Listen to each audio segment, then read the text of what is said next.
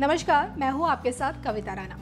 Corona से दुनिया त्रस्त है, लेकिन इस वायरस ने हर इंसान को कहीं ना कहीं बदला है।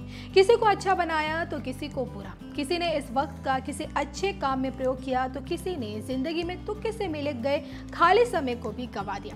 यानी सिर्फ़ कोरोना से बुरा ही नहीं हुआ, बल्कि किसी का भला भी हुआ है।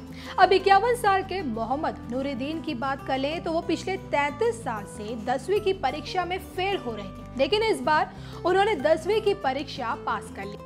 तैतीस साल तक मोहम्मद नूरुद्दीन के फेल होने की वजह उनका अंग्रेज़ी में हाथ तंग होना था। लेकिन इस साल कोरोना ने उन्हें पास करा दिया, ऐसा उनका खुद का कहना है। तैतीस साल से लगातार फेल होते रहे, लेकिन नूरुद्दीन ने हार नहीं मानी। और इस साल सरकार ने सभी छात्रों को पास करने का फैसला लिया तो फ़ायदा नूरुद्दीन का भी हो गया।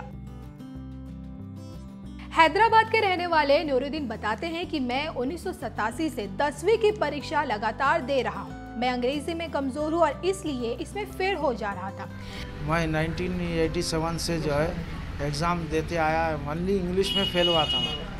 फेल होने की वजह ये है कि मैं इंग्लिश वर्क को बहुत मुश्किल होती थी इंग्लिश नहीं आती थी तो जब मेरे को ट्यूशन के सार्स नहीं मिलते थे, कोई पढ़ाने वाला नहीं मिलता था तो मैं अपना जो है, कितना हो सके भी कोशिश से, हमारे बहनों से, किससे भी कोशिश करके मैं पढ़ता था। पढ़ता तो मैथ्स मार्क्स बहुत कम आते थे मेरे को, thirty thirty twenty five thirty ऐसा आते रहे तो फिर मैं फिर डेट आ जाती थी।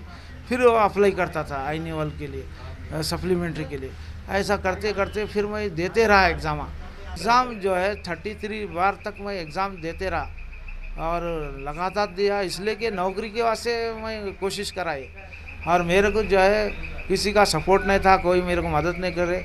और किसी को जो है मेरे को पैसा भी दे के भी पास करो बोल के बोले। मैं को इसलिए खुशी हुई कि कोरोना जो जो चल रहा अभी जो मार्च से अभी तक मैं एग्ज़ाम के लिए फ़ीस की डेट बन दिया। बोला ये लास्ट है अब तो मैं देता नहीं बोल के कोशिश करके मैं फ़ीस बन दिया। बन के क्या करा मैं बोला पूरे आल सब्जेक्ट देना बोले। ये इंग्लिश रुका दो बोले लोग। अब पूरे उसमें इंग्लिश भी आ जाएगा आपका बोले तो मैं बोला ओके ठीक है। आप मेरे को जो है इजाज़त दे दो मैं जो है फ़ीस बन तो बोल के मुशराबाद में मॉडर्न हाई स्कूल है। उस स्कूल में फ़ीस बन दिया।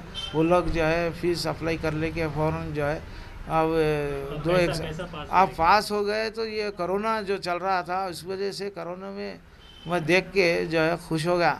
अरे बच्चों को एसएससी ओपन से और ये पास कर दिया बोल के खुश हुआ तो मैं न्यूज़ सुन के पेपर का फ़ौरन खुश होकर भाग के आया। इस बार पूरे भारत में बोर्ड परीक्षाओं में सभी को पास करने का फैसला लिया गया और ऐसे में नूरुद्दीन जैसे कई छात्र भी पास हो गए जो कोरोना काल में खुद को खुशकिस्मत मान रहे हैं।